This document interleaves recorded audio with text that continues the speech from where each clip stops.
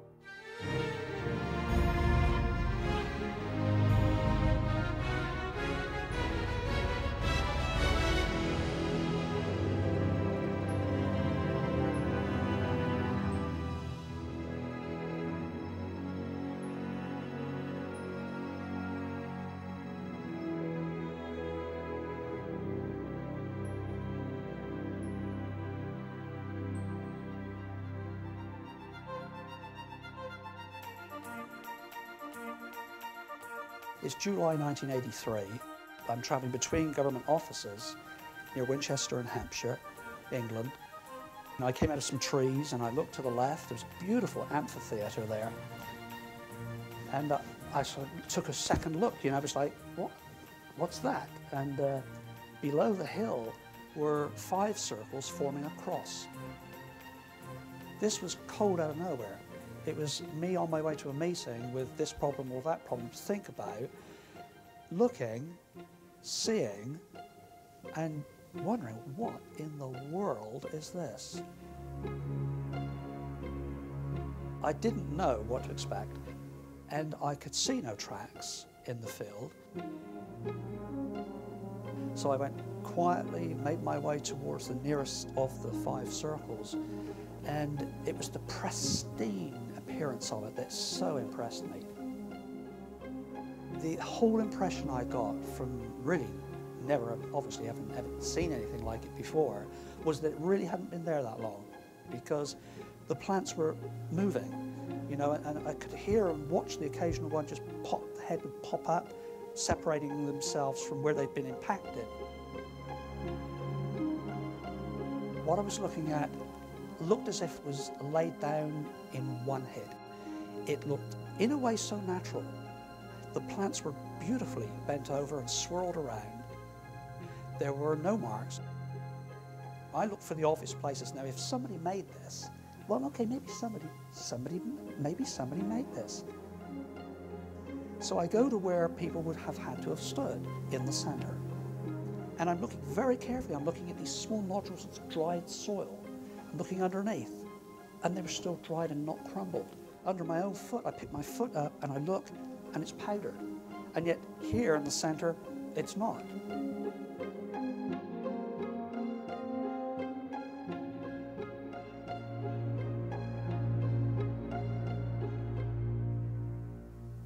I went and found the farmer, who was not particularly uh, happy to see me. Uh, he was, he was a, eventually forthcoming in so much as he was telling me they'd had them for years. This was not a random event.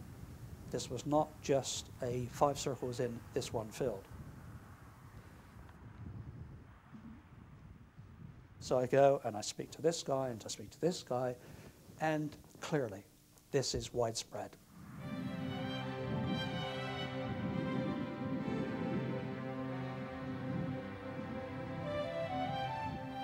Somebody told me of somebody else who'd been inquiring, and this was Pat Delgado, and he had been talking to a Dr. Terence Meaden, a meteorologist in uh, Wiltshire, because Meaden was also investigating circles of the same kind, same patterns, in his county.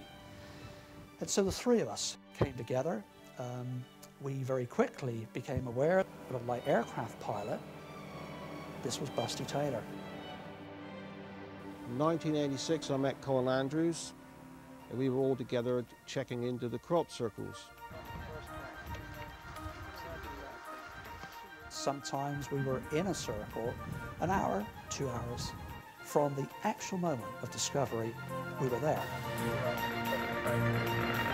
Following Mr. Hall from Corhampton Down Farm and uh, Pat's to the site of uh, a three, a formation of three circles in a field of winter barley. You're still feeling the excitement from the farmer. I mean, he's, you know, he's just gone home, made a phone call to us, come back out, he's still out of breath, you know, and this is exactly as he found it. So the single track in there now is yours just last night? There into the centre and back again was mine.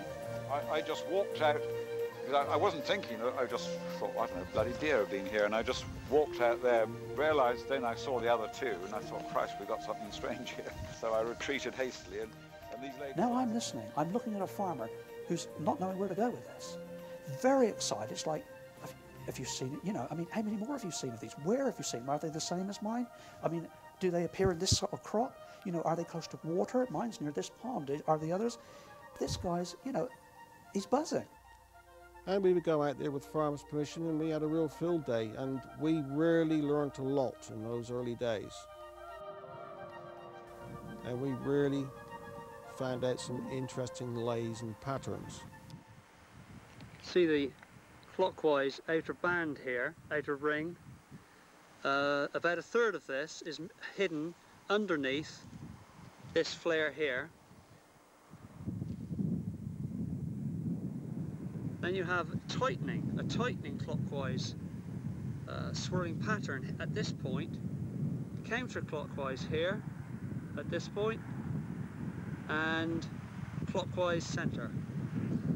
Absolutely incredible. Very, very pretty. Wherever possible, photographs from above before anybody walked in it. That was report. From the report, we, we, would be able to say, farmer discovered it, he walked there, there's his track. Is that right? Yes, it is. We can account for that. What we would then do is that we would get magnetic north on a compass, and we would take magnetic north as our first radius to the edge of the circle, and then break it up every 45 degrees. We would see whether we had an ovoid or a circle. Crop circles were regarded as a subject of legitimate scientific interest and at least 99% of the people who were around the crop circles, looking at the crop circles, that's including journalists, scientists and people, regarded this as a genuine phenomenon. There was no suggestion at that time that this could possibly be um, a man-made hoax of elaborate proportions. And um, there were scientists, they were out there with all sorts of equipment. They had cameras, they had radar, they had other measuring devices, magnetometers, they had radiation detectors, goodness knows what.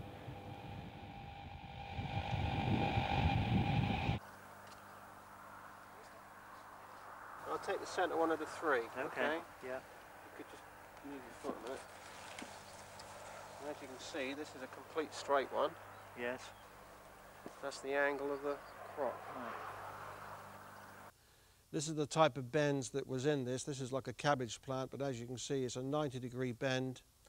And if you can imagine, that was in the ground, and there's just enough room for the leaves and everything else to be on the ground. Plant samples, I think the first ones in uh, the year that I started, uh, Pat Delgado sent the first plant samples to Dr. Levengood, the biophysicist here in Michigan. Can you tell me a little bit about Levengood?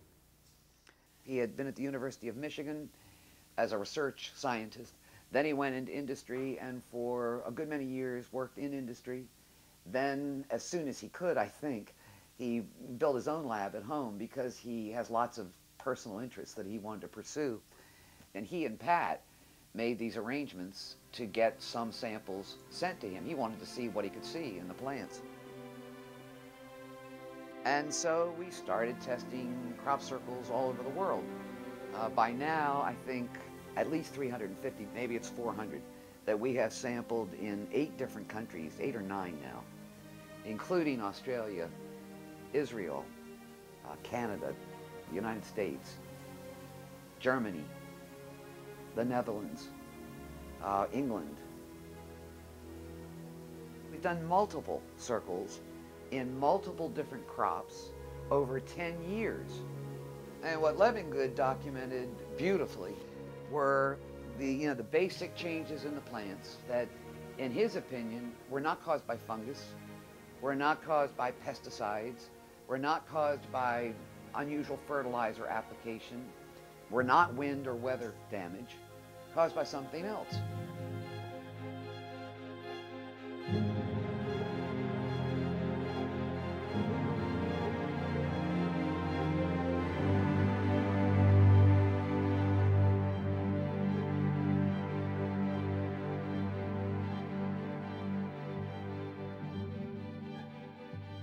Before 1990, we had circles, but circles in large quantities, or maybe multiple circles, maybe um, circles with rings around them, uh, circles with a lot of grape shot, or little circles scattered around, this sort of thing. They evolved from a simple circle, a straightforward simple circle. It was intriguing to say the least that it started initially circle with a single ring, then a double ring. Then we had the circle with its nearby neighbour, and that neighbour was half the size of the mother circle, as it were. Those appeared all over the south of England, and then there were three. Now, two neighbours, both half the size of the, the central circle, in a straight line.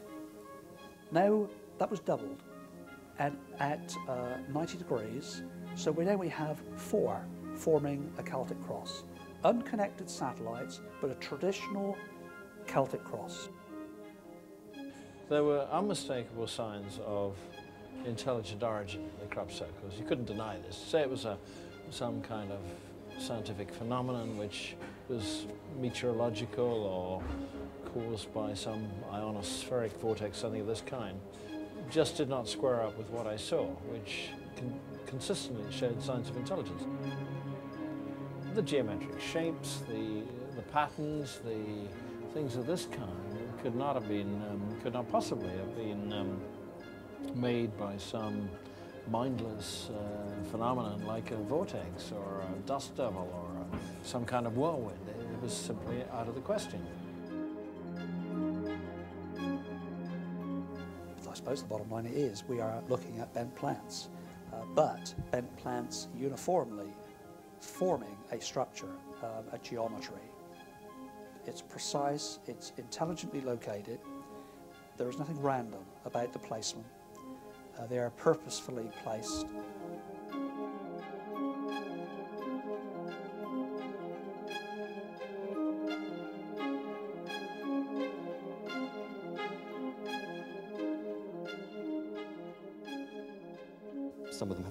Complex energy print. Nowadays, they're all just swirled. Th these ones are very, very, very interesting because they've got this sort of energy pattern. And I, I always liked studying those ones because they're almost impossible. In those days, I was wondering whether they were made by people and things like this are almost impossible to, to, to hoax. These aren't just arbitrarily placed as circles. There's a certain magical way in which they've been laid out. If if you were to graphically present it as a grid, you more or less get that. um, hexagonal grid or triangular grid, standard triangular grid, and here are your three edge alignments, one, one going up there, one going down there, one going down there. So there's a line just clipping three circles, and I call those tangents, which is what they're doing. It's one line, it's tangenting three circles.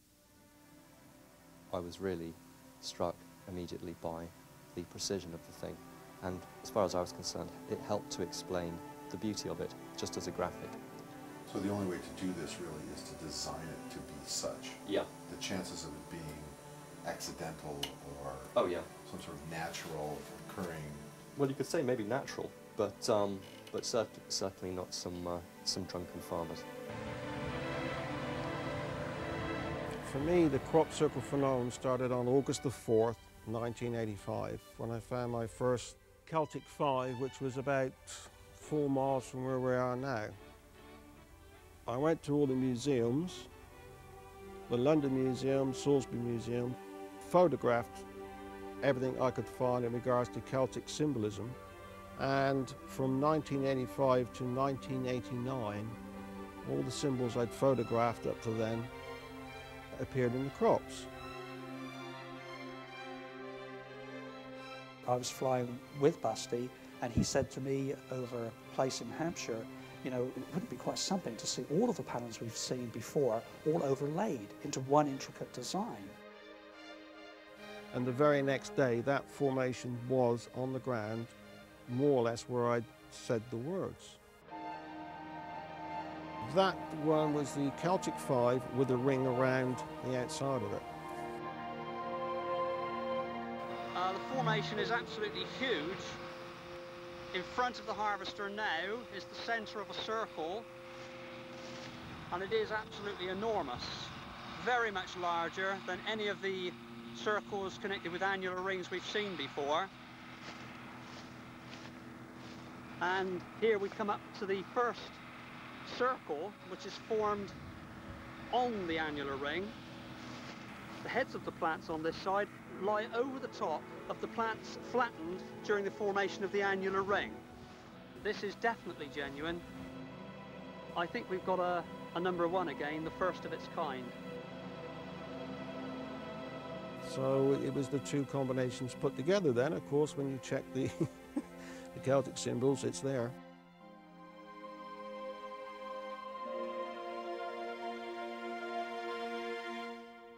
This was the formation that appears on the cover of Colin Andrews' book, Circular Evidence. It was the first really famous Right. crop circle to, Right. to, it's the crop circle that got imprinted in most people's minds in, at the very early stage of the phenomenon. And it was simply a beautiful Celtic cross.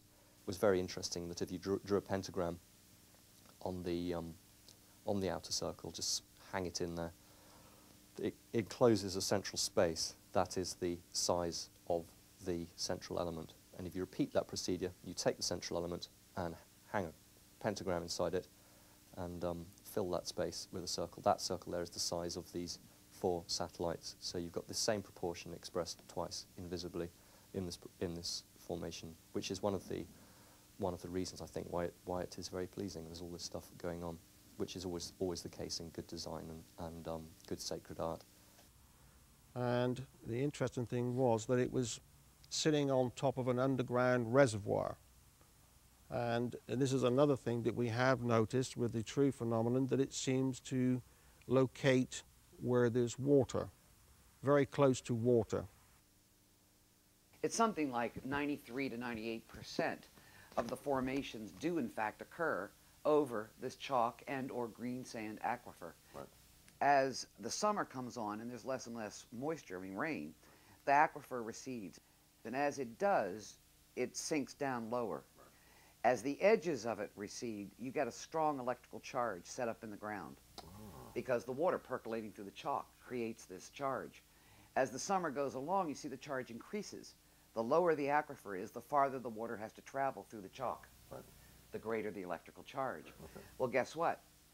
The numbers of crop circles cluster along the edges of the aquifer also. And one of the questions that comes up all the time is why don't they occur everywhere? Well, we don't know yet why they don't, but this is one possible answer.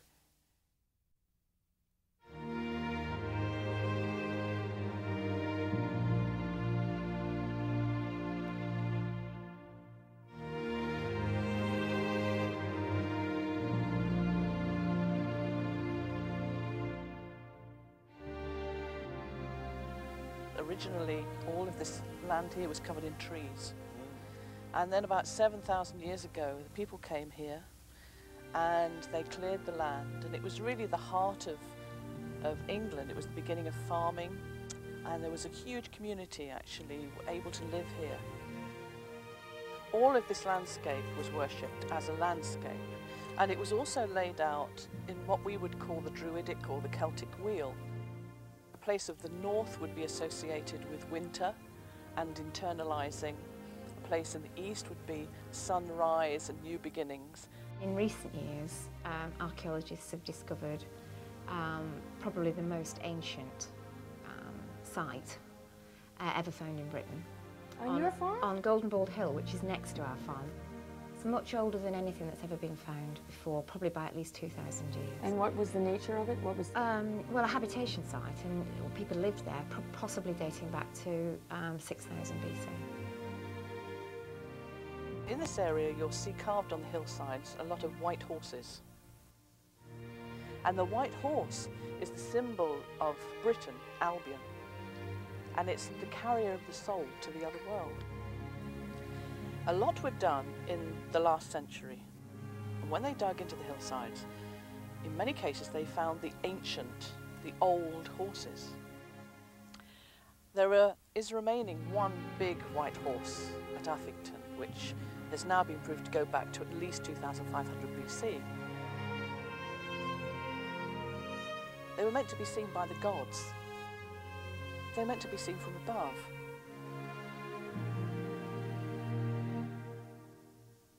I think this has always been an ancient sacred site and an important place.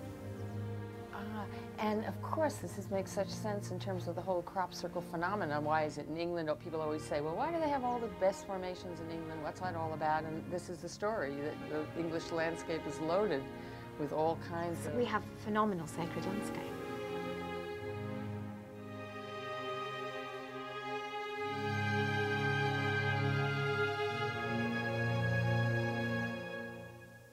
I strongly believe that man came here, um, probably from all over the world even, um, thousands of years ago, and worshipped here, and built Avebury and Silbury.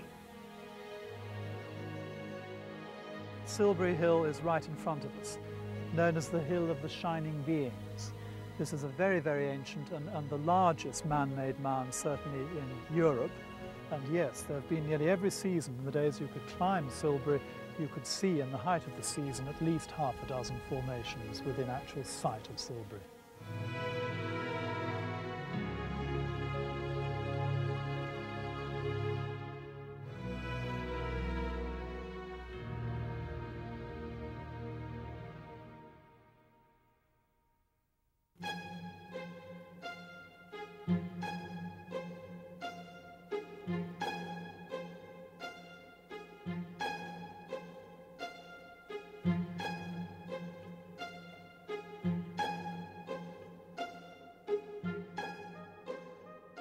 1990, a whole new event happened when we got the linear effect because we got the shaft which joined the two circles together.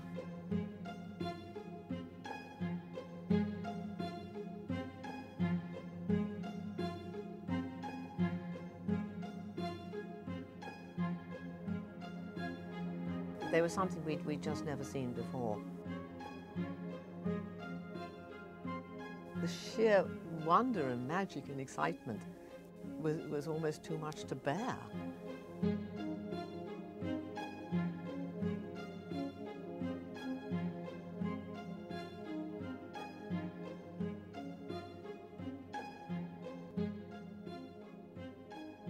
In 1990, we had the very first pictogram.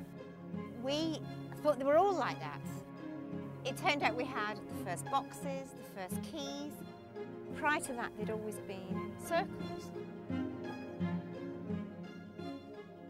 It was that amazing Alton Barnes pictogram, which stretched out in the landscape 365 foot of it. And it was unheard of. We'd never had anything that length. But not only just one, there was three of them in the, in the area, which had all occurred almost the same night. And the interesting thing was that they had uh, additions to them, little sort of spokes coming off them, which scholars of the arcane likened to astronomical symbols, Celtic symbols, and, and it brought in people from all different disciplines, and suddenly everybody was talking together. You got the scientists starting to talk to the metaphysicists. How many people do you think came through? Thousands. Carnival atmosphere. Total strangers stood together in groups, chatting away about, gosh, you know, what, well, what's caused it?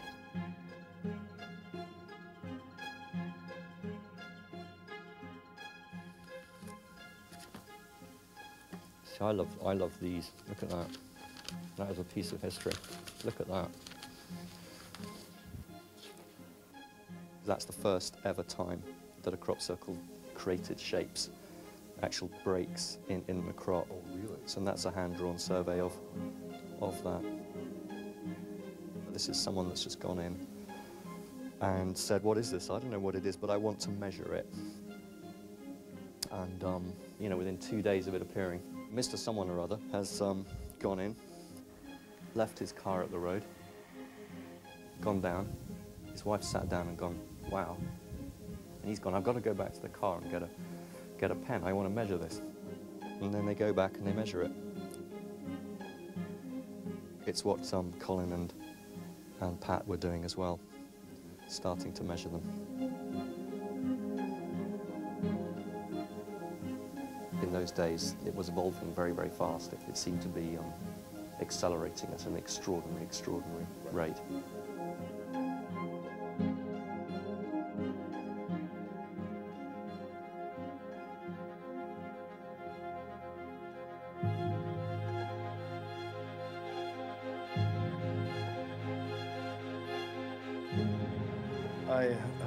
Helicopter and I got there uh, when it was really quite fresh and it, it was just totally amazing, that so far.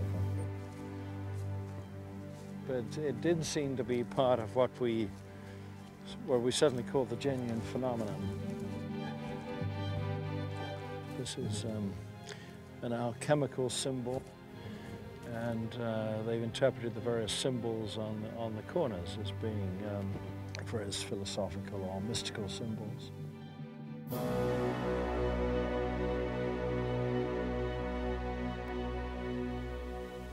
It's quite complex. You think it's got a basic three-fold geometry, but it hasn't. And you also think those edges are straight. They're not. So let's have a look. Superimposed on it is a perfect triangle. If you hang a perfect triangle orientated north, that one there is due north from the middle. So if we go 120 degrees west from that line there, it would have been a bit further north if it had been on a true triangular geometry. Then you can see the difference between where it actually is placed and the ideal 120 degree triangular geometry creates a little, little circle. That little circle in itself is exactly the size of the circle that appears over here on this part that is precisely 120 degrees round that way. Every detail of these things, when you start looking at them, is so carefully thought through and precise that it's, uh, it, it really is mysterious. From the centre, there's an obvious outer radius defined to there and there. Encircle the whole figure, hang a pentagram in it, the arms cross to define the, the size of the central element, put another pentagram in it, the arms cross to define the size of the central element. And furthermore, if we point the pentagram due east, right. it will exactly pick up this, this arm. Pentagrams pointing due east is the standard way you orientate a pentagram in the landscape if you're building a sacred temple. And then at a stone circle down the road, an ancient stone circle, you find the same use of a pentagram pointing east. It was exactly the same use of, of geometry. It was very interesting that the crop circles were giving me clues that were really feeding my research into stone circles. So we wonder what came first. Did there appear in the land, in the original crops, these circles? And did they mark these places with stone to hold the energy there? The ancients had geometry as a scheme of operating, as a way, a channel between themselves and the higher domain. Stone Circle's been there for 5,000 years. It's endured. They're made of 50, 60 ton stones, some of them. And they've been there for 5,000 years, and they're geometrical. And, and the crop circles are there for two or three weeks, and they're also geometrical. And so although you would think that they're not related, they're not related in time, and they're not related in terms of their endurance, they, they are giving, if you like, a message. Maths is a universal language, uh, and geometry is a way of speaking certain things. And we must therefore assume that one of the most powerful tools to, to understand the message is to assume there might be a message and learn how we must understand geometry in order to receive that message.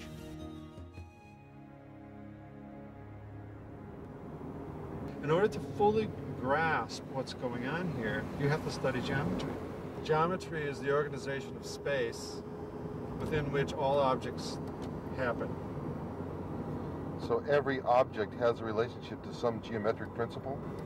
Yeah, every object is geometrical. It's got all the natural world has geometry built right into its very structure. The principle of sacred geometry is People who, who study sacred geometry believe that sacred geometry embodies the notion that all of nature is organized geometrically, whether it's the natural world or the unseen dimensions. The symbols that we see in sacred geometry used in churches or in uh, paintings or in uh, the occult world uh, all have their derivation from some geometric organization of the subconscious or the unconscious mind.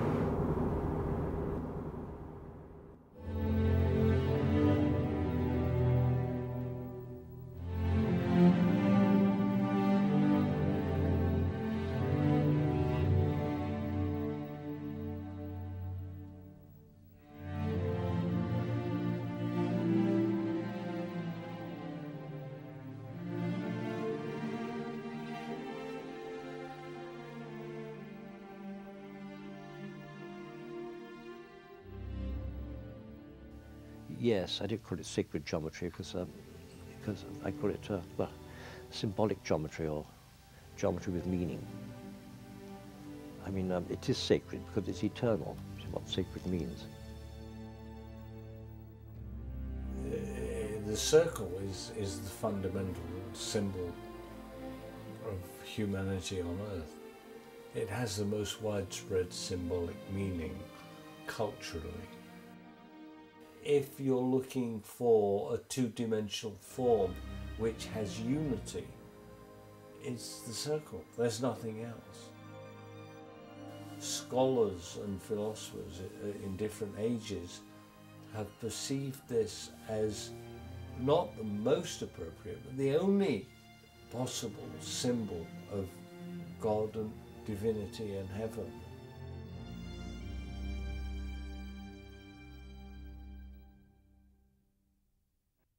At times of great need, the, um, the gods sometimes, i- i- historically, will communicate to, to um, man. And the medium through which they do that is always traditionally Mercury. Mercury is the messenger of the gods. And the Hermetic arts and Hermetic traditions have specific fingerprints, one of them being the pentagram. So the pentagram is, is the star, right? It's always used by wizards and wizards and witches. Um, and uh, you may say nowadays, how can we express that?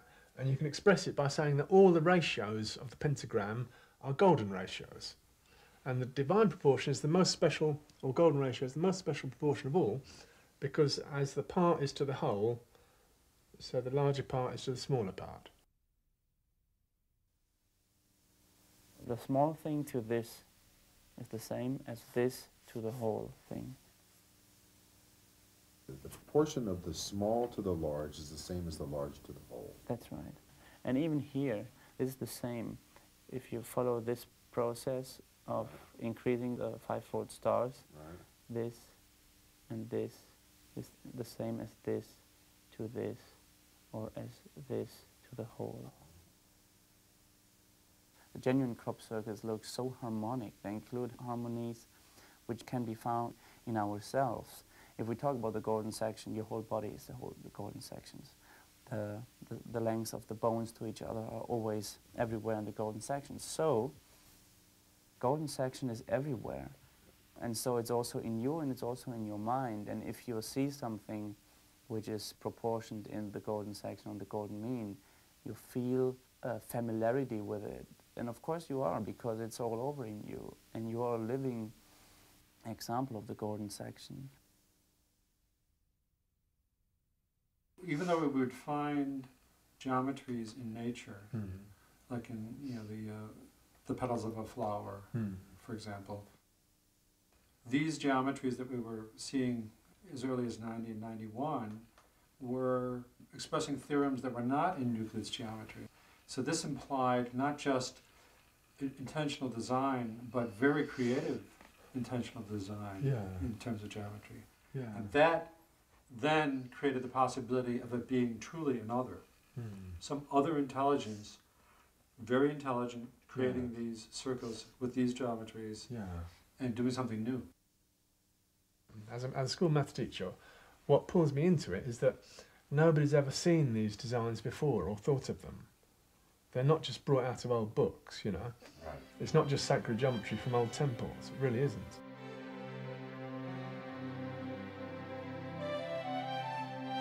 Crop circles will have ancient symbology, they will have advanced mathematics in the same symbol. When we really follow this closely, we, we, we can see that, that there is a train of thought coming through. And there are many strands of symbols, and it's very articulate, very eloquent. To start with, they were just purely circular. Then we got into the linear aspect. Then one year we had insectograms.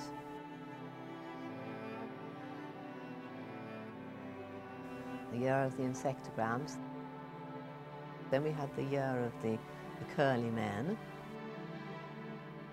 Oh, that was a lovely year. Then we had the year which was very organic, where we started getting the scorpions and the bees.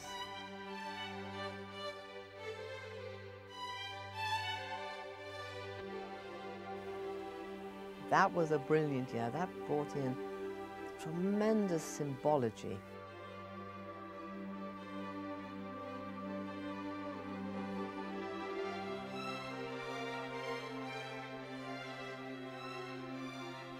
Then we, we started getting the fractals. That was exciting. We then got much more into the maths, the geometry.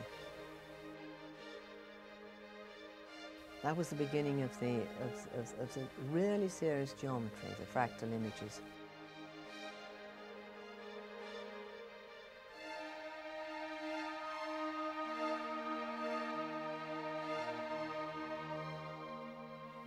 Where we've got the Koch fractal here, you can actually calculate it mathematically. The Koch fractal is basically a line, you divide the line by putting a point in it and basically stretch it out, so you basically get a triangle on a straight line.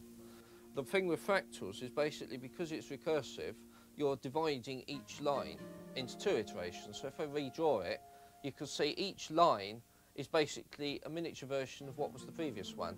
And that's where you can see the crop circles come into it. And obviously, if you went to um, three iterations, redraw it, each one of those in turn divides. So, of course, you can go on you know, infinitely with a fractal.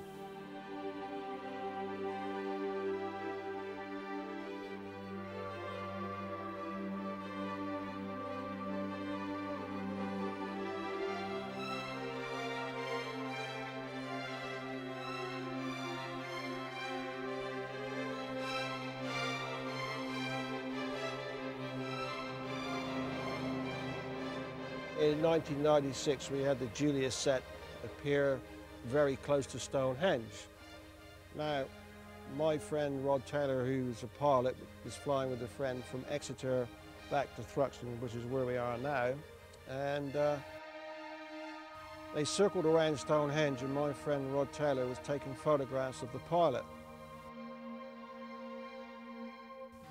Well, they left Stonehenge, came here, Rod got out. Pilot got back in after being refueled and flew back down towards Exeter and then noticed this formation next door to Stonehenge. Now, they sort of worked it out, the time lapse between when they were there to get here, refueled, back in the plane, back was about 25 minutes. And they swear blind that that formation was not there when they were circling around Stonehenge at the time.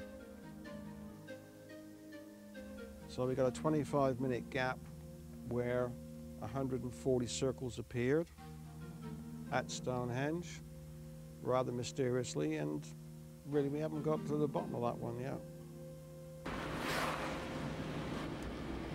This is indeed the queue to the, uh, right the way up to this crop circle. It's absolutely extraordinary. Stonehenge is just there, and the crop circle is on the left-hand side.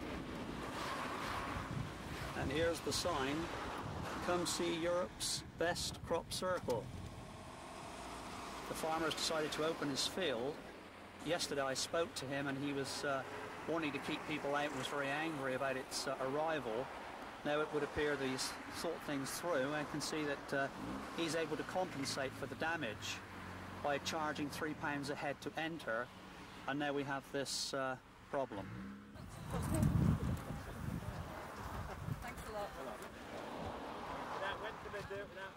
So how many people do you reckon you've had here today?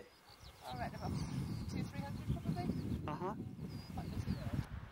And I guess you're seeing people from all, all, all kinds of parts of the world? Yeah, I've had uh, American friends, a Dutch family here, Australia. What, what's your own opinion on, on what it is that we have here? Do you, do you have a view? I can't see anybody doing that, any human person doing that, um, for a variety of reasons.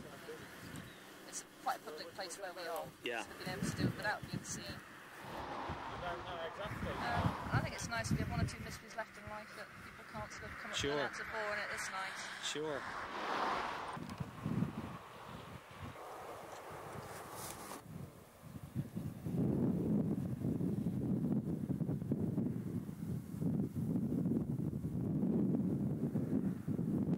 So they're doing pretty well actually, they're on the back end of it.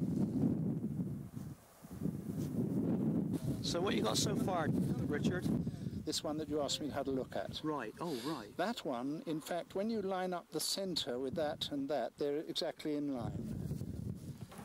Thanks, Laura. Um, with the compass bearing, you know, we've been talking about the central circle and the open end uh, cutting either side of Stonehenge. Have you been able to look at that or confirm that? Do you have a compass yourself? Is that that might be that would be a good thing to do, I think. My my compass shows from the centre of the circle to the right-hand side of the stones is zero degrees. Right. And the open end, which is here, to the left-hand side of the stones is zero The degrees. centre of the circle again. Yes, centre. Right. So we're in the open end of the tail right now. As I bring it back, I can see it. There it is. Settle on zero. There, we got it. Zero. To the musicians, it was a bass clef. To the geometers and mathematicians, it was a computer-generated fractal image, which they called the Julia set. That's why it's got its name. To the marine biologist, it was a perfect example of a cross-section of a nautilus, a seashell. And to a physiotherapist who counted out the number of circles, she said, well, that is the, absolutely the correct number of uh, vertebrae in a mammalian skeleton. There are families of circles, like Julia sets, the, the Mandelbrots, and or fractals, and it's very interesting that all of them come in groups of three, with each major themes. You know, the Julia sets and the, the fractal stars and the Mandelbrots. We had three of them, and they all followed the following line by its complexity and size. In 96, we had the Julia set at Stonehenge, it was the single one. Then we had the, um, the, the, the triple Julia set and the small Julia set, or Julia set-like shape at Liddington Castle. They appeared in this one, two, three on a timeline. But the geometry or the complexity and the size was one, two, three. The same happened with the fractal stars. We had first Silbury Hill, which was the, the simple one, then Milk Hill with the interior one, and then a triangle like this, a simple version of it. One, two, three in relation to time, but then one, two, three in relation to the complexity and size. It looks like a plan. The plan was not just followed in one year, it also went over three years and even by crossing countries, by crossing borders.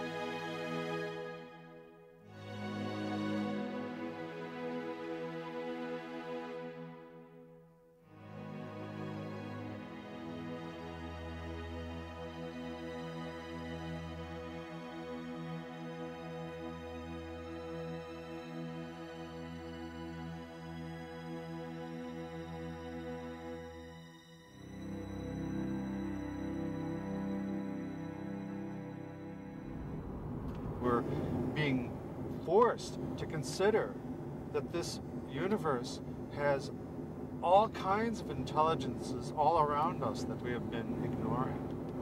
Particular intelligences can act freely within the universe that we inhabit. And they don't have to be our intelligence. They can be mysterious other intelligences, you know? I think that's really what's so fascinating is that the various domains of intelligence show that just like we are a particular intelligence within the cosmos, we can make art in participation with other forces. So these other intelligences can do the same thing. Well, I think the one thing that people misunderstand about art is that the viewer is part of the art. Right. The art without the viewer isn't even doesn't even exist. Right. It, it doesn't exist unless it's viewed. That is what the art is about. It's in the moving through time and space, evolution and the unfolding of that of the experience. When you look at a painting by Van Gogh, you see a picture of a landscape, maybe some people walking through it and stuff like that, and yet in that, you can also sense his energy, who he is, who he was. You get a whole, there's this, this whole encapsulation of this person. So if I was to look at and analyze crop circles, I would try to look at him in terms of like, how do I go back to the creator from this, the same way I look at a painting.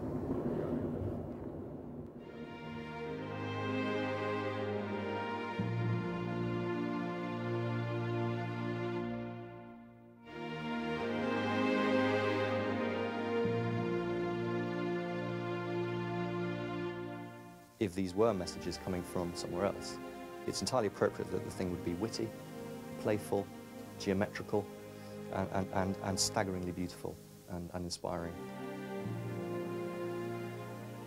The systems of proportion um, used in all sacred art and architecture are very specific. They all, they all embody a certain amount of geometry, and they, um, and they all uh, have obey certain rules. There are rules which um, state that you have to balance line and curve in sacred art. We see it all over the place in church windows, Islamic patterns, all the rest of it. So the line, the line elements of, a design have to balance the curve elements of a design. Cr crop circles were obeying that rule. Another rule, you have to, you have to balance your light and your dark in any piece of, of um, good ancient sacred art. Again, crop circles were obeying that rule. The two-ness of it, the, the laid crop and the standing crop. Sacred art is supposed to be operating without ego. You don't sign, you don't have artists behind sacred art. The divine is supposed to be operating through sacred art. Again, crop circles were exactly following that rule. An another rule, your integrity of materials in sacred art. You shouldn't really be using anything that's got anything that isn't directly from, from the earth. You want to stay green and clean and holy. Again, crop circles are, are obeying that rule. And then you've even got other rules, such as the temporary nature of quite a lot of sacred art, that it's often destroyed. After it's made, it's um, not, not supposed to be venerated too highly for too long, otherwise it becomes a, um, a sacred cow. And um, again, crop circles, they're, they're being mowed down every year. Another good example of it.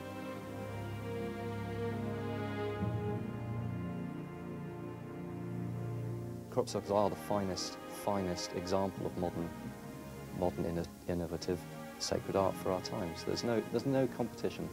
There's, there's no competition. There's nothing happening in the visual arts or, or modern arts at any level, anywhere on the planet at the moment that begins to compare with, with, with it as an art phenomenon. And there is no artist, certainly, who, who could begin to compare with the artist who is behind the crop circle phenomenon in terms of design. They are very, very, very, very good designers, and yet they don't, they don't hold their, their head up. So, so who are they?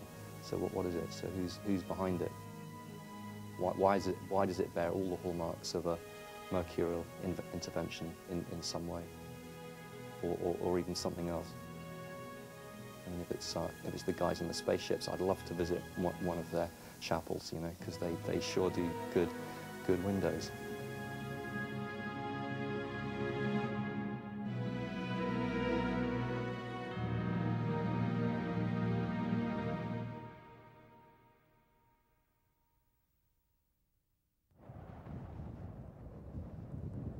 Okay, you don't know, of course, where to walk. What we're going to do is we're going to follow the tram line, and then we take the tram, the proper tram line to go up into the formation. So we just go in there. To be honest, I thought all the crop circles were big, big hoax, one big fake. There is a phenomenon, but I don't know exactly what it is. People are fairly limited in their way of thinking. They want to have the answer, it's alien or it's human. And I think it's something in between. I don't think it's, it's aliens. I don't think it's coming from outer space. But on the other hand, there is a phenomenon. It's not just one big hoax. Something extraordinary is going on here. And I think it has to do with our own being, our own way of thinking. Well, let's see, let's not miss it. So in fact, in a way, we are creating them ourselves, but not in the, in the traditional way of putting the crop flat with a board, but I think we do it ourselves anyway. It's not coming from outer space, it's us. We are looking at ourselves. It's our own mirrors we are looking at. Okay, let's go in. From what I see from here now, it looks a little bit violent to me. You see the crop is shooting up already again. It's a little getting up. There's one thing I learned in all the years I'm coming in the crop circles is that it's very difficult to judge by eye just is it genuine or not. I tried to do that when I came for the first time. I thought, oh, this is genuine, this is not, just by looking at it, but that's very difficult. Every crop circle has its own character. So this is done in, in straight lines. If you can see, it's alternating. This one is on top, then you have this one, then it's this one again. You see the different layers. So if this is man-made, two people were needed to do this, at least. Why is that?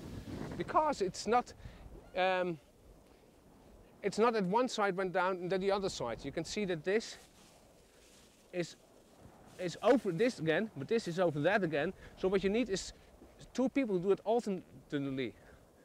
I'm not saying people did it, but that's how difficult this is already. This only this small part already is not that easy. It's not that straightforward as you would think if you look at it for the first time. There are lines, you can call them pathways, but there are construction lines under the crop. This one is very obvious because it's laying on top of it. This one is less obvious because it's going under it, but when you follow it, you will see it's one, one big line. And the rest is constructed around these lines. These lines are not as straightforward as you would think. You would think they're, so it's a hoax, it's all man-made, but that's not the case. Sometimes there are lines that you don't need, and lines you do need, miss, are not there. The bending in the nodes is something that only happens very occasionally. Uh, there's a misunderstanding about it. A lot of people think you will find it in every single crop circle. I only found it in a very few crop circles.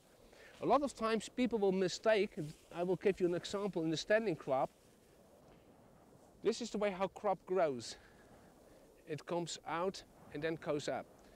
Now when, you, when this goes down, it gives you the impression that there's a bend here. That's not the bent nodes. Bent nodes are the ones, in fact, that are the middle ones, the straight ones, that are bent. And that is amazing. That's unexplainable. I believe there's a, uh, phenomenon. I'm not going to look for bent nodes anymore in every single crop circle. I try much more to get a feel from how, what does it do to me? What does the shape do to me? But it's the general feeling.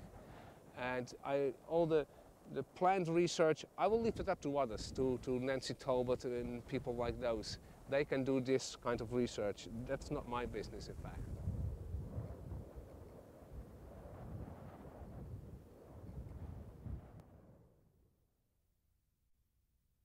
I heard about this guy, uh, this Michigan guy, this Levengood, uh, who had started to do uh, plant work.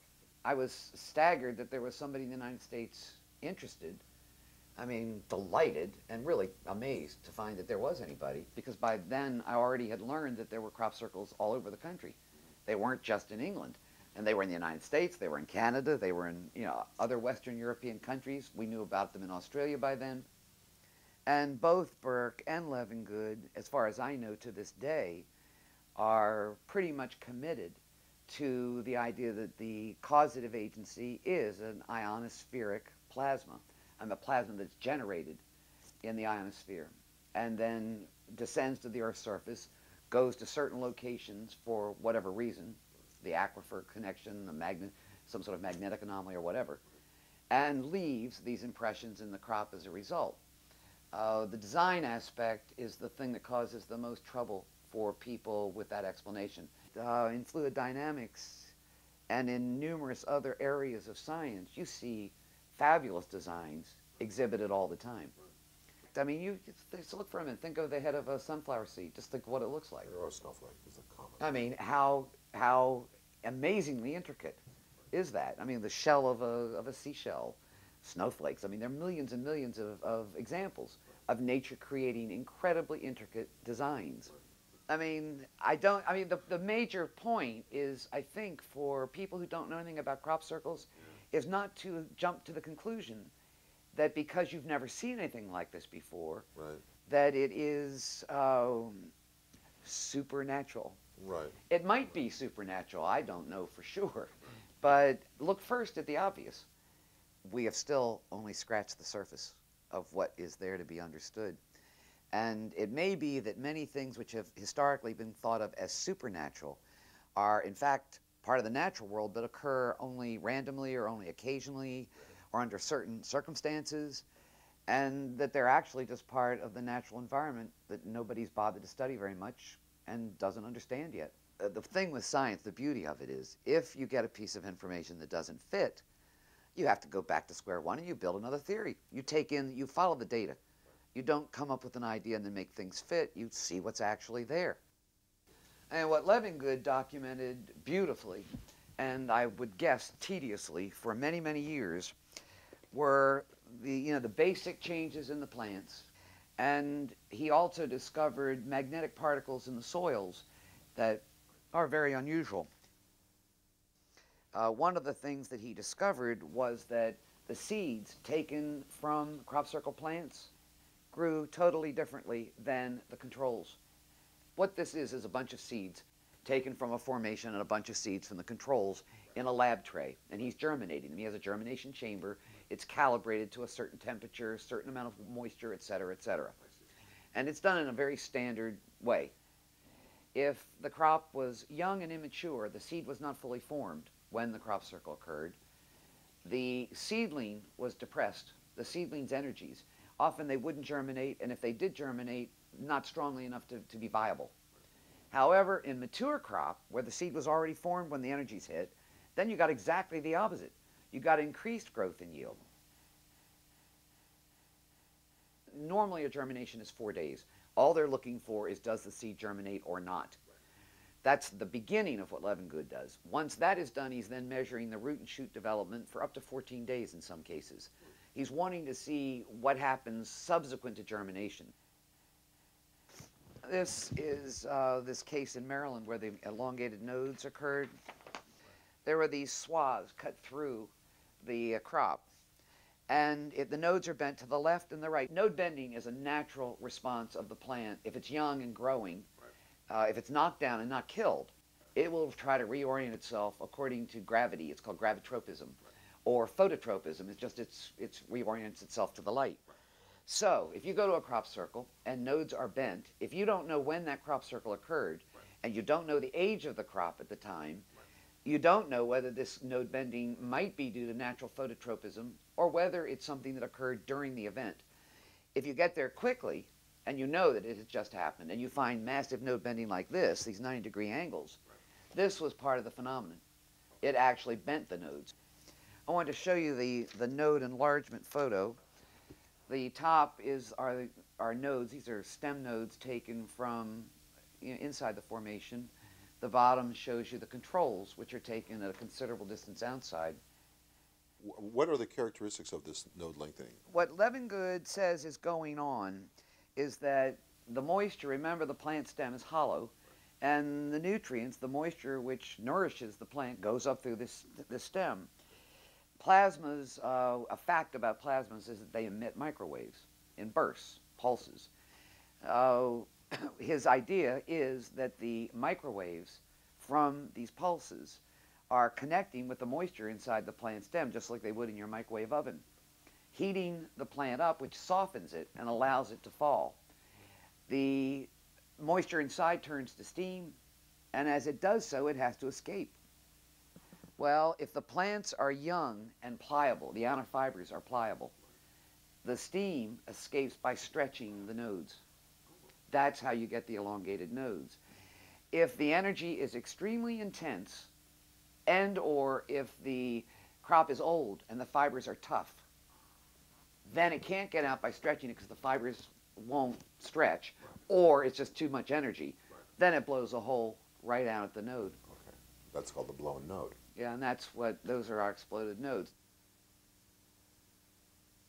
These are samples of corn. We have done a number of corn formations. These are crop circles that you know occur in the corn. But you see, what we're looking at here is these. You want to see the light coming right through those. The crop was down, and here were these expulsion cavities. The amount of energy that it would take to do this in full-grown corn must be quite astounding. When we do this sampling, a lot of people think that you know we take a plant stock here or there. Well, we don't. We take hundreds of plants, thousands often, uh, say 50, 60, 70 samples, and each sample it consists of between 10 and 20 plants. And then we do the same thing in the controls, starting immediately outside the circle and going up to 500, 1,000 feet away in several directions. Then the idea is that you compare what you see in the plants inside to what you see in the plants outside.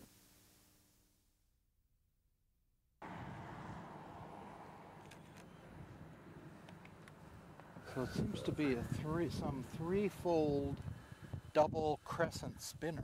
Yeah. Uh, beautiful to behold from the hill. I, I can't wait to get up in the air.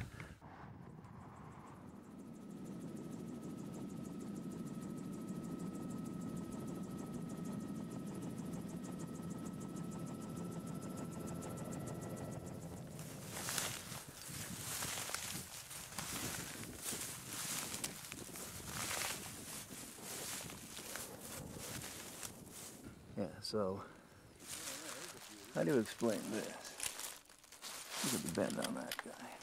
It seems like maybe one out of a hundred have these bends that, if it were mechanical, they'd all be broken. Here is this very nice looking, what I call a plumber's bend. It's absolutely 90 degrees going down.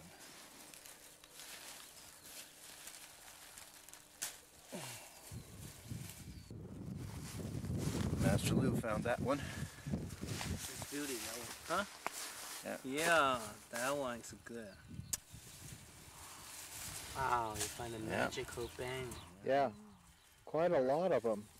Yeah. Ah, lovely. That's a beauty. All right, this, this is a case in Salem, Oregon, 1997, out on the west coast. We found uh, node length changes in the plants in this formation, and we also found a massive incidence of expulsion cavities. The controls in this case were taken away from the formation in this direction and away from, this, from the formation in that direction, out into the standing crop. What we discovered was that we had significant node length changes inside the formation and we had these expulsion cavities. But what we also found in the standing crop outside the formation, the supposedly unaffected crop, we found node length changes which decreased as a function of distance away from the edge and in a completely linear fashion. Those are the controls taken north and south. The node lengths are decreasing the farther you get away in the standing crop. Again, if you talk about man-made events, how did they change the node lengths in standing crop that is apparently completely visually unaffected? There's a law in physics known as the Beer-Lambert principle, and it simply describes the precise way in which matter, any matter, absorbs electromagnetic energy. Well, if you're using node length change as the equivalent to exposure to the energy, then as that decreases, when it does so in a, in, in a uh, linear fashion, it means that what caused the change has got to be electromagnetic energy. Because the Beer-Lambert principle, that's what it's describing. Then you have another interesting thing. You've seen many standing centers inside crop circles. Right. Well, guess what? the standing centers often show as much change or more in the nodes than what you find in the down crops surrounding them. And the hoaxers are telling you, well, they knocked the plants down. Okay. Then how in the world did they do what happened to the standing plants? I was just thinking, why, I wonder why the crops didn't fall down if they were affected. It's a complex energy system. Whatever this is, it is a complex, multi, many energies. You have an electrical component. There is a, obviously a strong magnetic field, another energy present. There may be energies we haven't described. The point is you've got, it's not one single energy doing this, and each energy is functioning independently of the others and chaotically.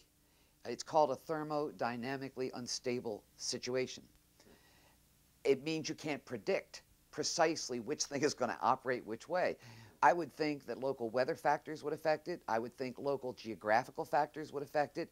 The type of crop, the age the crop is at the time it occurs. All of those things are probably factors in whatever the final result really is. This is obviously a very fresh one.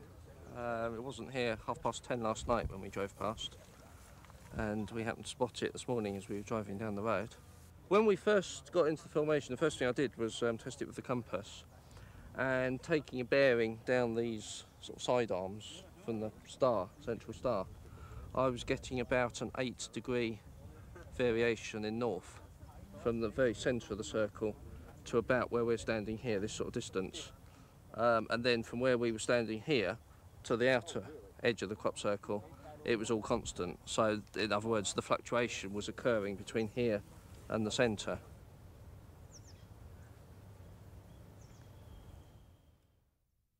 This is uh, a, case of the magnetic particles in the soils being dis distributed in a completely linear fashion. What we've discovered now in formation after formation all over the world are these tiny little rounded particles. That. Wow. You can't see a lot of these with the naked eye. But the fact that they're perfectly spherical indicates they were in a molten state as they fell to Earth, because that's how you get the, the spheres. We used to make lead shot that way, right? Re- Revolutionary War, we heated the lead up and we dropped it off towers because it forms spheres. This is a case in Canada a couple of years ago mm-hmm. in this area of Saskatchewan. Those are several formations which occurred in one field simultaneously. This is the sampling diagram on that larger circle. And as you can see, what we did here were two diameters.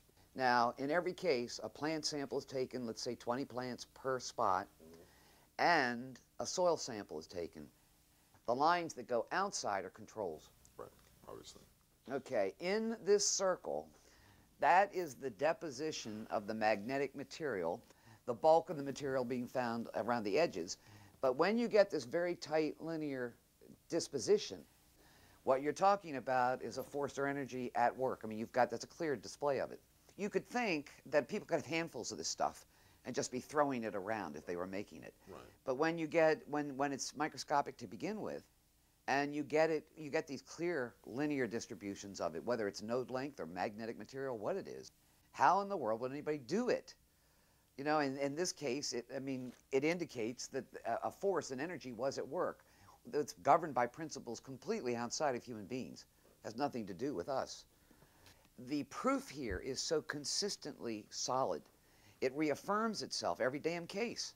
It certainly affirms that it's made, or th- these things are created with the manipulation of some sort of exotic use of energy.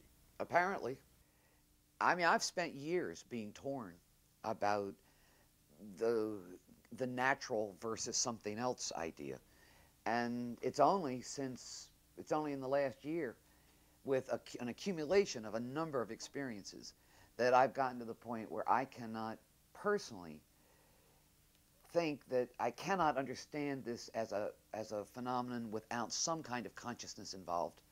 I have no idea whether it's my consciousness or the collective unconscious of Jung's or um, the consciousness of quanta. I mean, I don't know.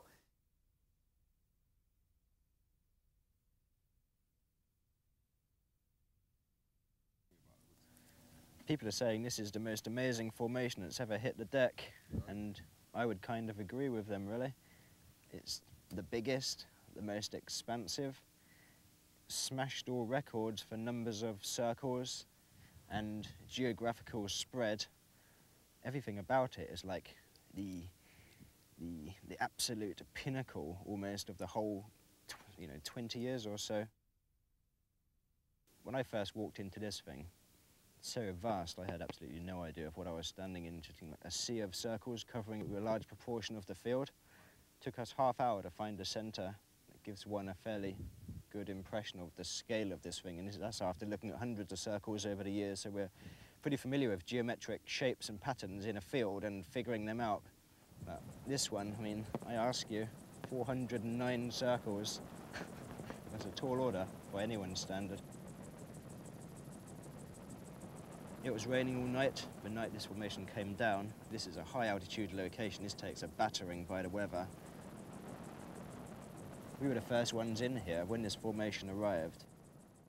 No footprints, no mud, you know, no broken plants. All the centers were perfect. No, no sign of human activity or entry into this field at all. You know, I've seen the result of team of people or a gang of people smashing around in a cornfield all night. They make a hell of a mess. You just can't help it. It's a, a matter of fact. This was totally inconsistent with everything I know about human-made crop circles. You can't do that in a cornfield. Just hit, hit the deck perfectly first time round. No errors, no mistakes, no glitches. It's just here, and it arrived in a few hours in perfect condition.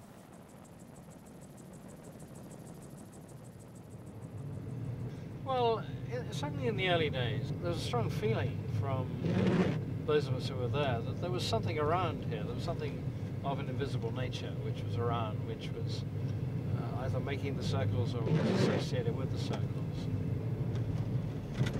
And um, from many of the reports, there were reports of uh, balls of light, lights in the sky, certainly in those early days. And you know, you've heard about the balls of light, which everybody sees in the crop circle areas in England. Well, often they're seen when there's no crop circle in the field. They're simply in the fields, of lights. And in most of those cases, after the light balls have been photographed or videotaped or whatever, a crop circle will occur in that location, sometimes a week later, or three weeks, a month, whatever. Well, I have seen those balls of light not just at crop circle locations. And this made me think about what they are. Because I, well, I know that what I have seen was not always related to crop circles. But then I have seen them again in relation to a crop circle. I mean, don't forget that we've got phenomenal light activity in this area, uh, in daylight as well as in the night. And uh, they're not just seen in the summer, they're seen in the winter too. And they're seen by people who just live in the village, you know, have got nothing to do with crop circles. And, you know, so there- we know there's something weird going on.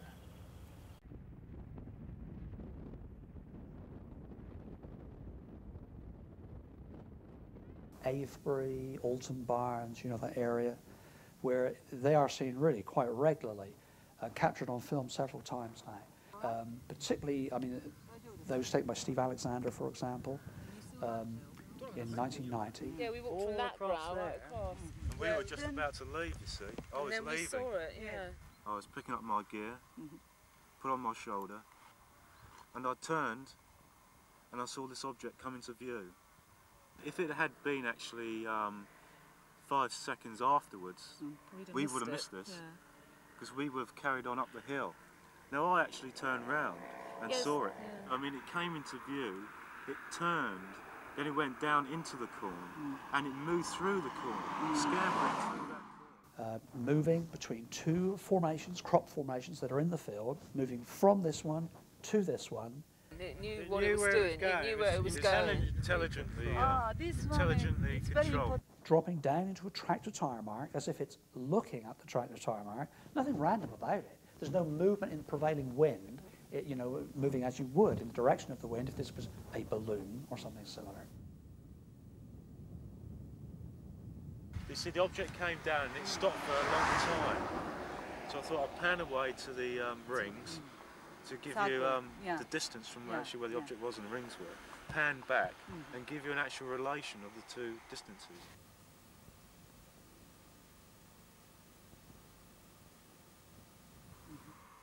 So through all this time, it was glinting, flashing all the time. Then it took off. And then, of course, then it just carried on over the hill, moved up and away, over the actual um, tractor, which the farmer was um, in at the time. Where's that piece of paper? It's a bird. What? A shiny bird? You know, I, I spoke to the tractor driver who was seen on this film that Steve took, and that ball uh, moved, uh, went over the tractor driver's uh, head by about 35, 40 feet.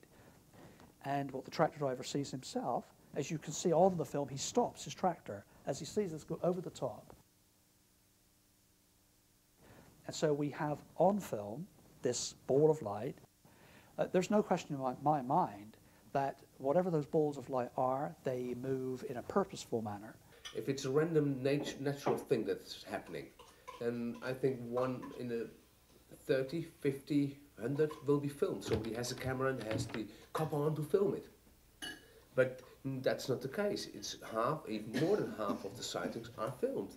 Like Donald Fletcher, walks at Barbary Castle, he does not even have his camera on the tripod. There the balls are light are already.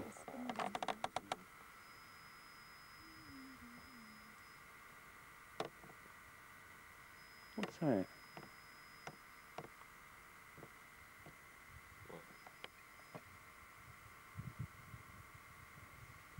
I can't think what that is. Can you see it moving across? No, what? Where the camera's pointing? That's a bit of um, dust in it. Fly. The big question is, number one, do you think the balls of, of light are intelligent? Yes, I'm Okay. convinced. I'm convinced. Mm, no, He's no, not. no. you're not convinced? No, no, there's no, and there's no real proof for that. What, what I see is an intelligent behavior. I'm not so sure are the balls of light themselves intelligent, or is there something That's behind good- it? Oh, I, yes, I, I do Yeah. fully agree on that. That's I do believe in So they could be envoys or whatever you want to call devices Probes. or probes. Yes. something Probes could, Could be. but it could be that they're intelligent themselves. Right, right. Yes. Yeah. Are they energetic or are they a device? I think they're energetic. Okay. I think yeah, because uh, if you look really good at the footages, and you should should should analyze them really carefully, is that everybody who sees them, the first thing they say is light. So they recognize it as a light, not as a mechanical thing, but as a light. Do you have any stories of people seeing it more close up and having it interact with their thinking? Charlie Mallet was down here visiting in like, the park. He was, uh, s- was sitting in a circle at night, and this thing just showed up. It was two feet away from his head.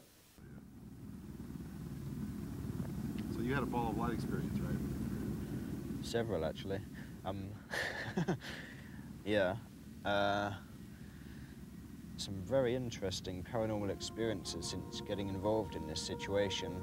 Part of my initial motivation for being here was to kind of, if this stuff is being done by something else for whatever reason, I would like to um, be there when it happens, you know? So on this particular occasion, I was, I was in a formation close to here. Before I actually saw or, or physically experienced anything, probably about three to five minutes before this happened, the whole atmosphere in the formation changed, or at least in this particular part of it. The whole atmosphere around me within the formation became very highly charged, practically electric, uh, to the degree where I was sitting there thinking, you know, this is really weird, you know, should I leave the formation? And I a ball of light just appeared directly in front of me for some glowing sphere, kind of orange, yellow, translucent, not really casting much of a glow, and it didn't really do much. It just kind of appeared, hovered above the ground for something like a minute, quite a long time. I had enough time to kind of, you know, get up and move around a bit and have a look. And strangely enough, as, as this ball of light appears, the whole subjective, creepy, bizarre feelings all go, and I'm just in a normal, everyday situation, but there's this, this ball of light there. It's there for up to a minute, and the whole in the ball of light fades out. It sort of like fades to nothing over a few seconds, and I fell asleep immediately. Have you guys actually seen your own balls of light in fields or in crop circles? Mhm. Uh, you saw. So was it at night or during the day? I only saw one one really ball of light, and it was at night time. It was flowing, floating over a crop field. Slowly took about two minutes to go from one side to the other side. This was such an amber ball. It looked like a fireplace, an open fireplace. It was getting bigger, smaller, bigger, and just floating slowly until it disappeared behind the shed. And I thought that's going to take two seconds, and I will see it again. I never saw it again. Never it came out. stopped while it was behind the shed. It's hmm. very strange. How far away were you? A couple of hundred meters. It was Yeah. pretty distant. I had to use my binoculars to really see Yeah, it. Yeah, I saw it, I was there as well. I saw it with the naked eye, but I missed the, the details that he saw because he had the binoculars. Balls of light are certainly seen around the hills here. This is why we have Golden Ball Hill, because there's the memory of balls of light have always been seen there. Are these places of communication with intelligence beyond this physical world? Who knows? But certainly that is in the folklore of the land here. Will o' the wisps that were caught here in England and Germany, they are called Irrlichter, and uh, they have been observed for centuries. How do we approach phenomena in a way that is open enough that we can actually see what it actually is outside of our own We have to lo- we have to lose our illusions and our preconceived ideas. We have to leave that behind, because when we go with preconceived ideas, we see our preconceived ideas. We think by analytic process, and then what we need to do is we need to synthesize what our analysis reveals. So, part of the thing that we do is that we break it, something down into its component elements and then forget to put them back together again to get the larger picture. Ah, yeah. Well, that's our science emphasis. Science redu- Yes, is the reductionist aspect of One, things. If two. somehow, if you analyze all the parts, you've got the whole, but of course you miss something much bigger, and you can never get the whole by just adding the parts back together. Yeah, that's really true. Science has come full circle and realized that just dealing with objective knowledge and, and the validation of objective knowledge is giving them an incomplete picture of the universe. And they can't solve some of the problems that they wanted to solve with that incomplete picture. So all of a sudden, consciousness has started creeping back into scientific approach to the world. And now consciousness studies are like some of the biggest things even in physics. Physi- theoretical physicists are you know, knocking their brains on this issue of consciousness because the subjective element has now been reintroduced into science. Now, consciousness doesn't operate just in a three-dimensional world or a four-dimensional world. In fact, physicists think that we live in an 11-dimensional universe, which is mind-blowing in, in itself. And I have a strong suspicion that consciousness has an influence across all of those dimensions. Now, if it sends a projection of itself out into those dimensions, then it's going to end up having all sorts of things generated in the universe. And the shadows of those projections are going to appear in the form of some of the geometrical shapes that we see.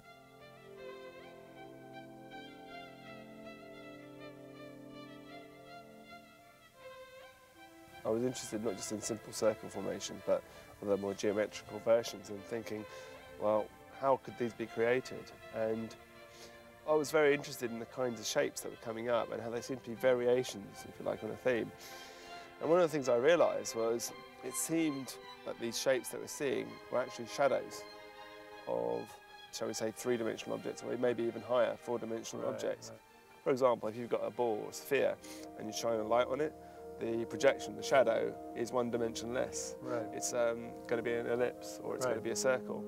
In a similar way, there's a way of holding a cube in such a way that the projection, the shadow, appears as a hexagon. And it appeared to me that these formations, they were a combination of a couple of things.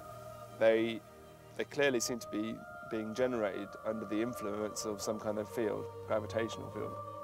Whatever it was that was being applied had its origins, had its source, if you like, not just in this three-dimensional world. It seems to have been a shadow, if you like, of a higher dimensional object or a higher Right, dimensional right. construct. if there is some higher consciousness or whatever interaction from a higher dimension that we're not aware of, what we're seeing is we're effectively seeing the wake that's been left behind by the object as it's gone through our dimension. Say, for instance, if you imagine a speedboat whizzing around the, the bay, you'll get a wake of the water behind it where it's disturbed it. Now, if you don't see that boat, you're just seeing what's left behind. Now, if that object is in the fourth dimension or the fifth dimension or whatever that we can't see, all we're seeing is the aspect left in our dimension. Basically, if you look at this, if you look at this from a cross-sectional view, it's actually a pencil. Now, in one dimension, all you see is like a little line contracting. Two dimensions, you just see a hexagon expanding and contracting. And of course, three dimensions, you can actually see the shape going through. Now, if you imagine this is our world, this could be some entity from a different dimension passing through, and we're basically seeing in our 3D universe the image of it. Mm. So, take it one step further, looking at it from a crop circle point of view, if you imagine this is poking through, the actual shape here is a tetrahedron with a sphere on each tip. As it more comes into view, you can then end up with the Barbary Castle formation. And if you rotate that round,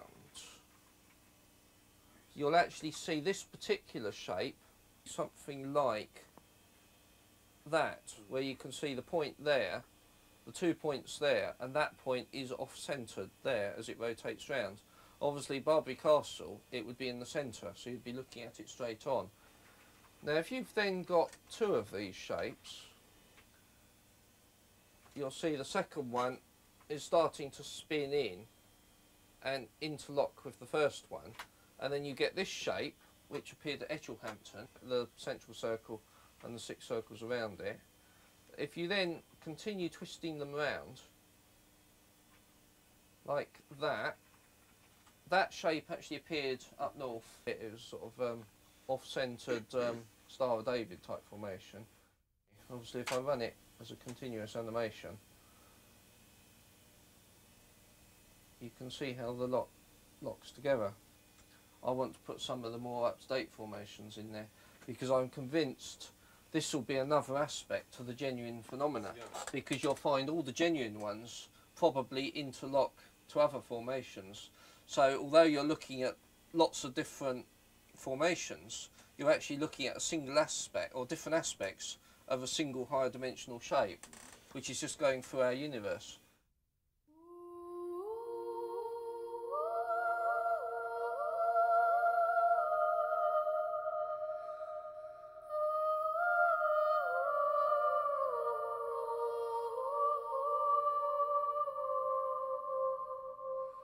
So we're in the um, single small Julia set at Chiseldon, south of Swindon, discovered Friday morning, the second.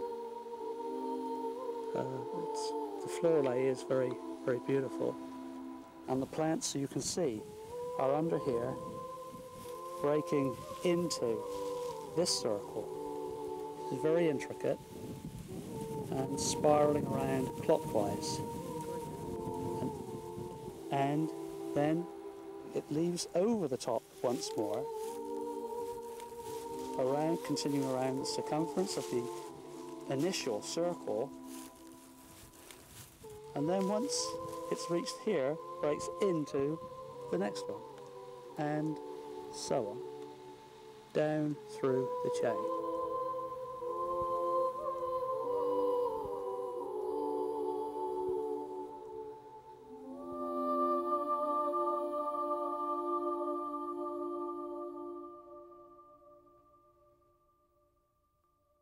The 17th century, uh, people, when confronted with these shapes, called them either fairy rings or mowing devils or strange markings in the grounds, and they were absolutely convinced it was done by either the devil or infernal spirit or witchcraft, because that was the mindset of the time.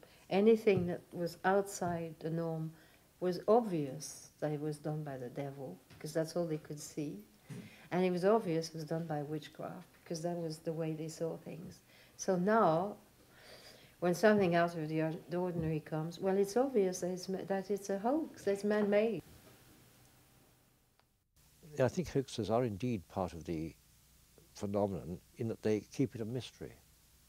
That is, it's always possible to say, oh, I know this or that was done by somebody, they're all done by somebody. And so people who don't particularly want to think about it have an easy way out. And that every phenomenon should allow that. So people don't, it shouldn't be so challenging that you can't avoid it. If you want to avoid it, you can say, oh, I know it's a hoax, and get off the subject. I accept that hoaxes exist. I don't believe every single thing that appears in the field is a genuine thing. But a hoaxing doesn't explain the phenomena.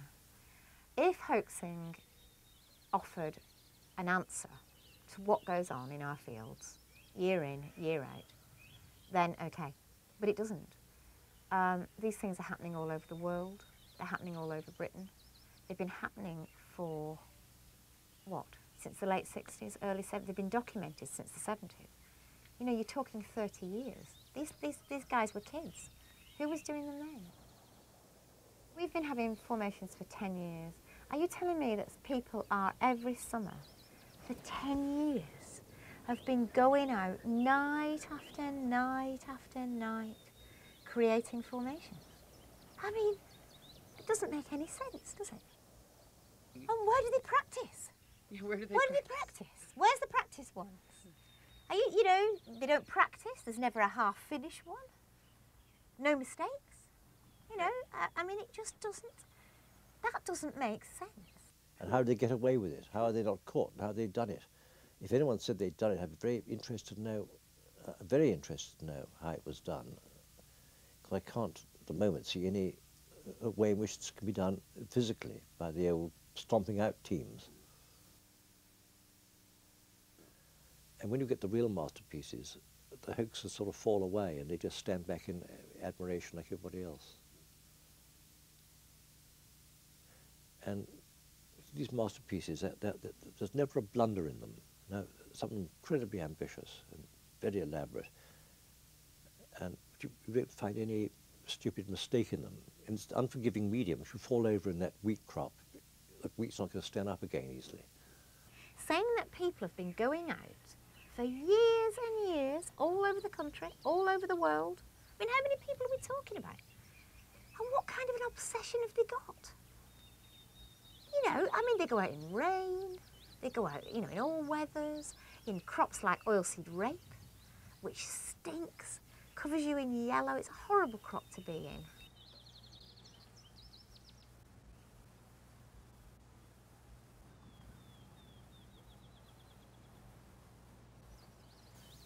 The lack of being caught, the lack of blunders, the lack. Uh, you don't see a half-finished masterpiece. As the cock crows, everyone has to pack up tools. It's, they give, all give the impression of being done in one go. They're not spot on accurate, but they've got a rhythm through them, like an artist would do.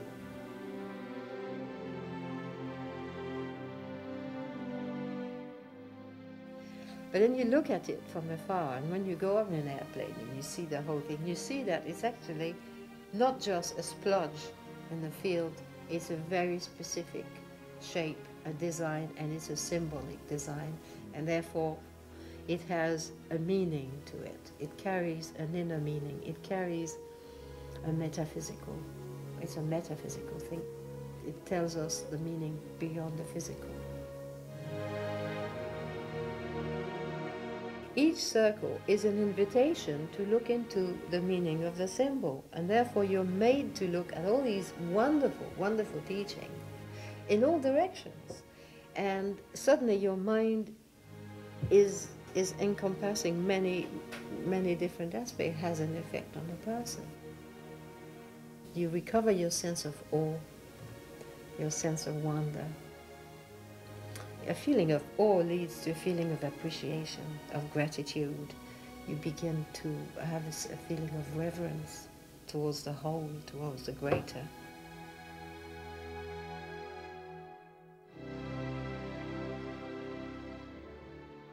These things are footprints of intelligences.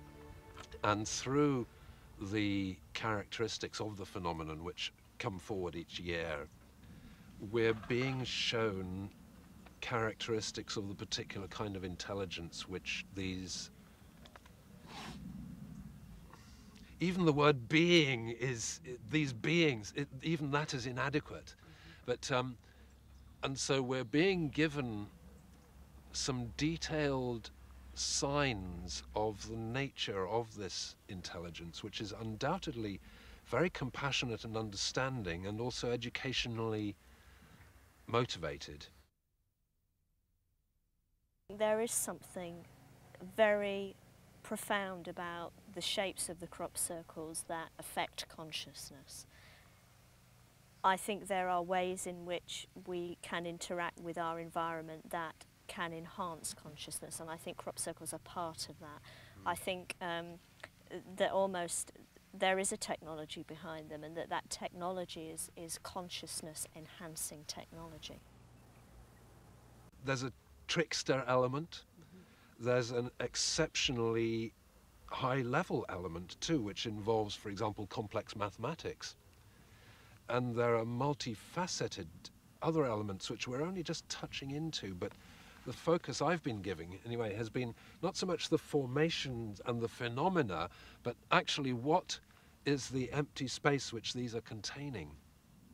And what is the essence which these are demonstrating in terms of the effects of these mysterious intelligences?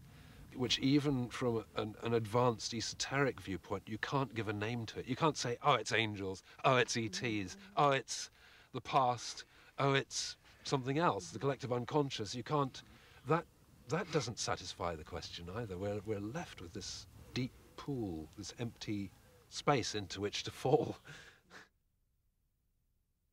the question that you get asked, what makes crop circles, it is a non-question. It's an impossible question because I'm not sure necessarily that there even is a source. I've got this funny feeling it's some weird feedback loop. yeah, yeah. They're yeah. created almost spontaneously by the interest in them and yet by some... Uh, we'll never know. You'll never get to point A It's a loop. I bet you, if you could, if you could try and trace it back, you'd never get to the answer. You just go round and round, and, and it's almost like they're created from nowhere, out of nothing, like everything is. I'm sure there's a dimensionality to this which we are just not capable of seeing at the moment.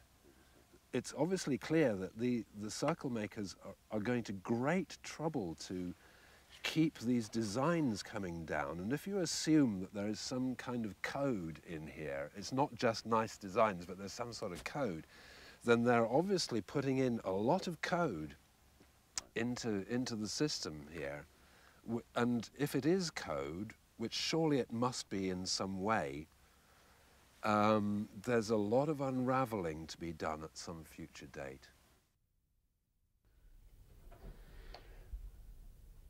I think there are myriad communities, intelligences, civilizations up there, and I think it's reasonable to say that the majority of them are fully aware of planet Earth and its divinities and miracles and charms and its madnesses and follies.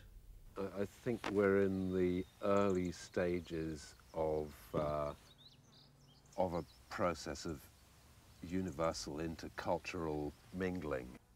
The issue is it's got to be done very, very gradual in, in homeopathic amounts so we actually develop, amongst other things, a certain immunity to the potentially destructive influence of incredible positive energy coming our way when we open up to the other beings in the universe in which we live. I think they do know that um, their material intervention in tangible terms would cause such disruption to our culture that we would unravel and fragment very quickly, and they don't want that.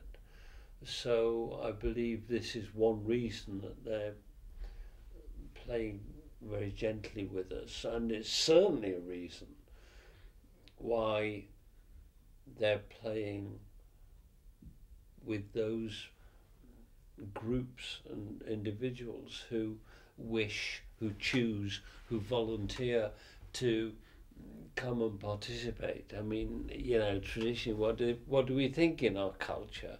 They go and knock on the door of number 10 Downing Street. They go and visit the White House. Well, they'd be stupid.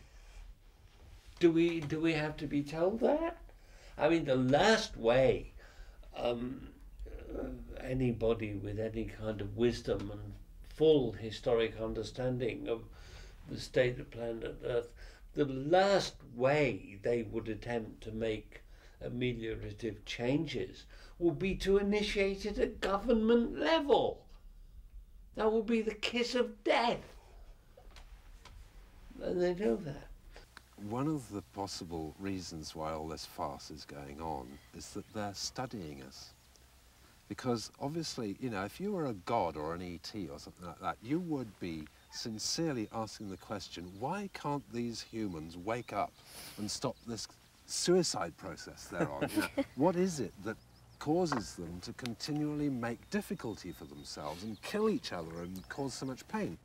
And so you could see it as a research project by these beings to, to provoke us with the, the stimulus of, uh, you know, just putting it in front of us and then to study all the ways in which we avoid truth being put straight in front of our face, you know?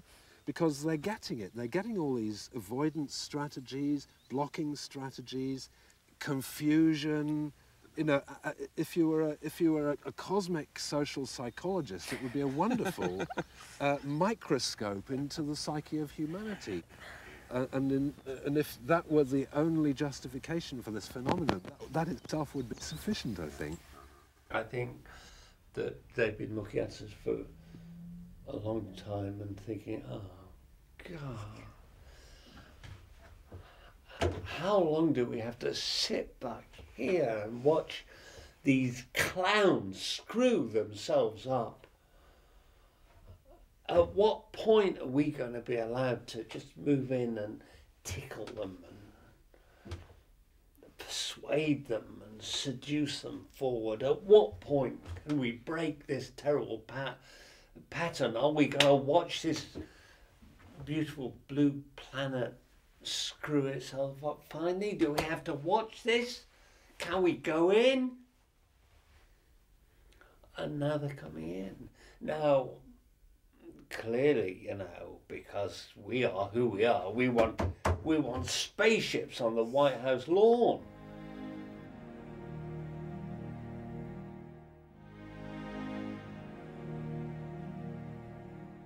At one point, I think, being involved in this, I thought, I kind of saw the circle makers as this huge intelligence out there that had all the answers, that was trying to teach us something truly profound.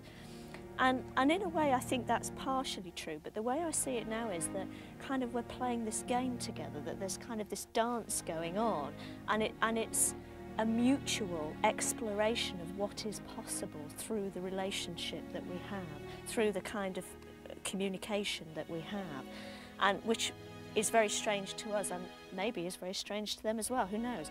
But I kind of more see it now as not this kind of all-encompassing intelligence that has the, all these answers that they're trying to teach us, but more of it being this wonderful dance of, of um, two intelligences together and just pushing the envelope and the boundaries of what's possible and exploring together what would be possible through a, an interaction or a communication between the two. I know that this is interactive, and then I know there is a communication, and I know that I am shown which way to go, and while on the one hand this might sound like God speaks through me, um, I don't see it that way at all. And I know many, many, many, many, many people in their work around the crop circles who are receiving nudges, encouragements, directions, clues, hints to draw them forward. For years, um, in the early 90s, uh, we tried a series of experiments using a psychic channeler just to see what would happen to take messages to whatever the circle making forces might be. And as soon as we started those experiments, I mean, I think on the very first day we had a big meeting at this friend's house in the field closest to his house as you could get. The first formation of the year in our county appeared. And we thought, what the odds of that? And what we found was as the next couple of years went on, we all started to have these synchronicities. Um, three or four of us saw balls of light. And eventually this kind of work culminated. Uh, we did an experiment where nine of us meditated up on a hillside and asked for a crop formation and others have done this uh, on other occasions too and we had a certain shape that we thought might arise as a result of that and lo and behold that very night exactly that design appeared in the fields of Sussex.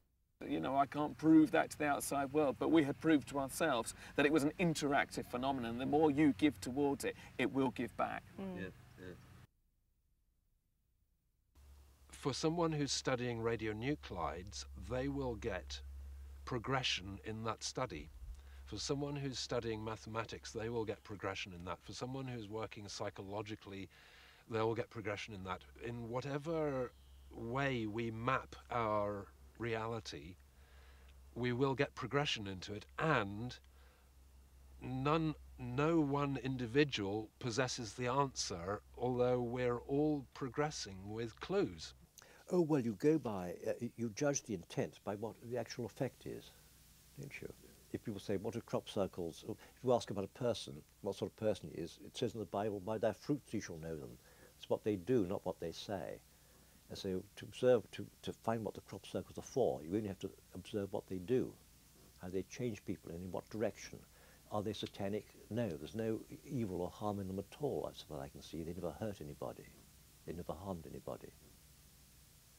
They've only inspired people, and some people have been disappointed by them, or by, by some aspect of them, but that's their own uh, um, personal business. They haven't hurt anybody. I think that the crop circles maybe are occurring now because there are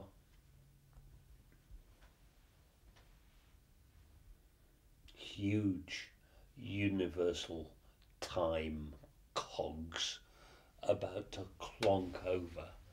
And this has been this has been in the stars for a long time. And we've been blissfully stupidly unaware of what we were sitting on but they know and i think the crop circles have been brought now because they have been saying these guys are going to miss the boat this is one of the most exciting things, and they don't know what's going on. How can we bring them forward? How can we open their eyes? How can we open their hearts? And I put my money on the fact that we'll have contact when we are sufficiently grown up and evolved to be able to accept it. And we have a very accelerated uh, program of learning uh, to be able to accept it and to be integrated into a wider and heavenly scheme of things. I think we're right on the edge of it. I speak as an optimist. I dreamed I saw